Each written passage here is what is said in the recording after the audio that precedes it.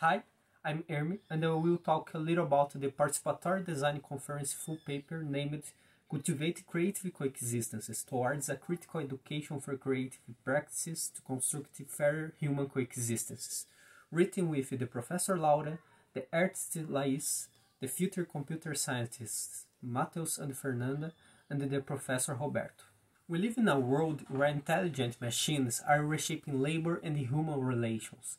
In this world, creativity is considered a central theme in the debate about education. Unfortunately, there is a widely reproduced discourse that puts creativity thinking to serve the capitalist market. This kind of rhetoric on creativity is called economic imperative. Consider creativity as a necessity to be successful leads us to an opposite statement that non-creatives will not succeed, remaining for them only to work in poor jobs or even live in a massive unemployment context.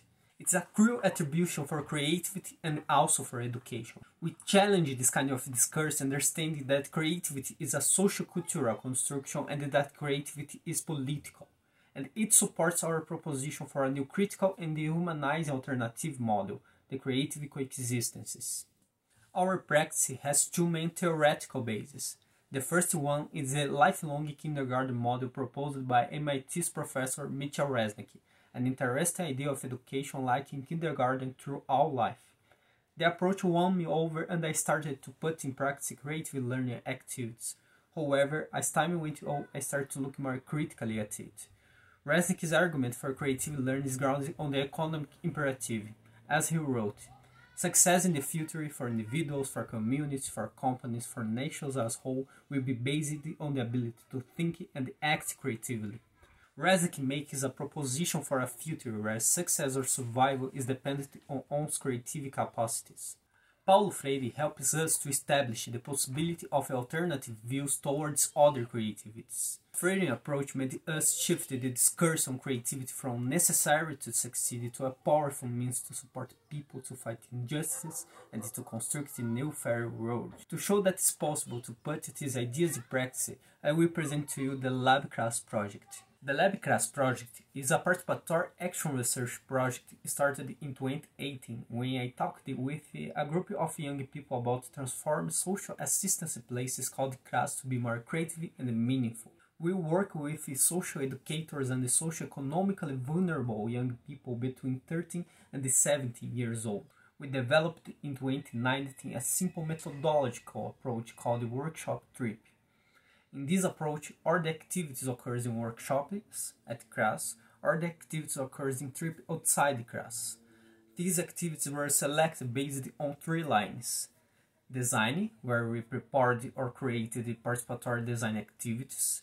Theater, where young people have opportunity to tell, show, act, write, and sing with their bodies through participatory theater and the theater of the oppressed and hands-on where we conducted traditional creative learning activities. Altogether, 15 trips and 68 workshops occurred. Unfortunately, I will bring only one scenario in this video, but you can see the other four scenarios in the full paper. We choose to talk about the Memes Museum project. In the project, we conducted workshops and trips aiming to construct a physical memes museum the idea comes from the youth and the project has the full engagement of young people. Three experiences in the project show many valuable lessons. The first is the workshop where young people created memes for consciousness to address an important topic in their lives, personal hygiene. Beyond creating memes, all participants reflected on the personal and societal impacts of bad or good personal hygiene.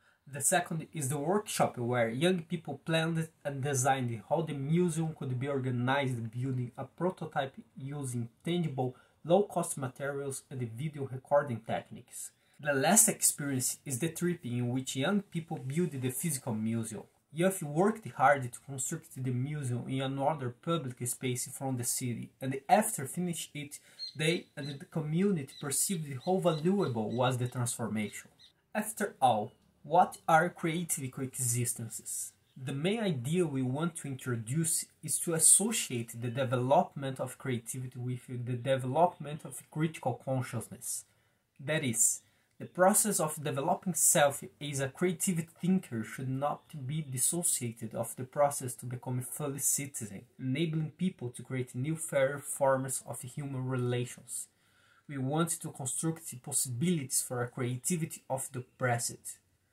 Now, we try to make our work more transferable by extracting four pillars for supporting educators and practitioners to cultivate creative existences with socio-economically vulnerable youth. Pillar 1 Questioning the Creative Society.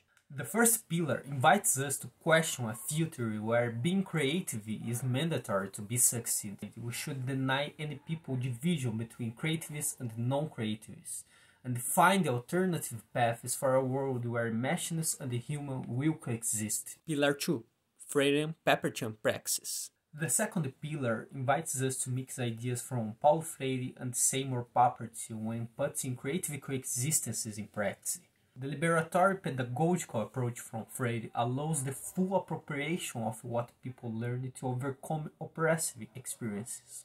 Meanwhile, Papert's constructionism offers meaningful educational experience helping us to connect with young people's interests. Pillar 3 Young People as World makers. The third pillar invites us to rethink about how we, designers educators, perceive the youth. Invite us to believe in the power of change driven by youth. Youth are agents of necessary structural changes, world remakers as designer educators, our responsibility is to give to them the opportunity to dream. Pillar 4 Existence Centered Practices. It is indignant that many young boys and girls you work with are growing up facing a coexistence guided by violence and death for them, their family, and their friends. The fourth pillar invites us to reinvent and create practices that produce coexistences grounded in life create new forms of life with the authors, challenge the violent structure experienced by youth.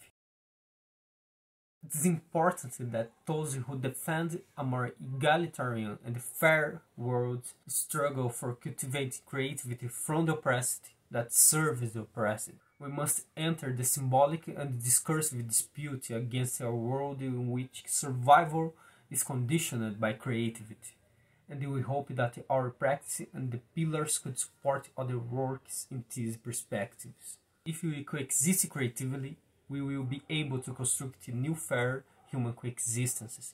In today's world where we are dominated by fear and hate, we believe creative coexistences could be a little seed that can help us to produce new kinds of courage and hope, especially for and with oppressed youth at all places. Thank you.